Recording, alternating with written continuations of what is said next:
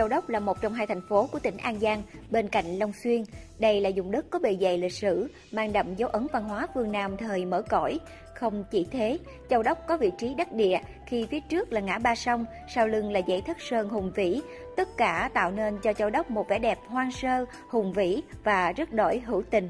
để tiếp tục tuyên truyền sâu rộng truyền thống lịch sử văn hóa cách mạng của dân tộc và quê hương An Giang nói chung, Châu Đốc nói riêng, Thư viện tỉnh An Giang trân trọng giới thiệu đến quý bạn đọc quyển sách Lịch sử Đảng bộ thành phố Châu Đốc 1930-2015 do Ban Thường vụ Thành ủy Châu Đốc nghiên cứu, biên soạn, xuất bản năm 2018 với độ dày 348 trang, khổ 14,5 x 20,5 cm. Quyển sách đã tái hiện lại một cách hệ thống, chân thực, sinh động quá trình xây dựng và trưởng thành của Đảng bộ thành phố, ghi nhận công lao đóng góp của các thế hệ cán bộ chiến sĩ, nhân dân địa phương trong công cuộc đấu tranh bảo vệ xây dựng Châu Đốc qua các thời kỳ, giáo dục thế hệ trẻ lĩnh hội, kế thừa kinh nghiệm của các thế hệ đi trước, trao truyền, phát huy cách mạng, quảng bá hình ảnh quê hương con người Châu Đốc. Đây là nguồn tư liệu liền mạch về lịch sử đảng bộ Châu Đốc được kế thừa kết quả nghiên cứu, biên soạn lịch sử đảng bộ thị xã Châu Đốc đã xuất bản trước đây, đồng thời bổ sung thêm một số tài liệu mới theo hình thức thông sử, kết hợp biên niên sự kiện lịch sử của đảng bộ Châu Đốc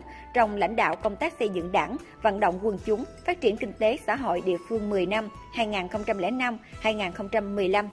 Hy vọng thông qua quyển sách này góp phần giúp chúng ta cùng nhìn lại, phấn khởi và tự hào với những kết quả đạt được trong chặng đường đã qua, từ đó phát huy những thành tựu và kinh nghiệm đã có, sẽ tiếp tục viết nên những trang sử mới, làm rạng rỡ truyền thống vùng đất Châu Đốc anh hùng. Thư viện tỉnh An Giang trân trọng giới thiệu quyển sách tới đông đảo bạn đọc trong và ngoài tỉnh.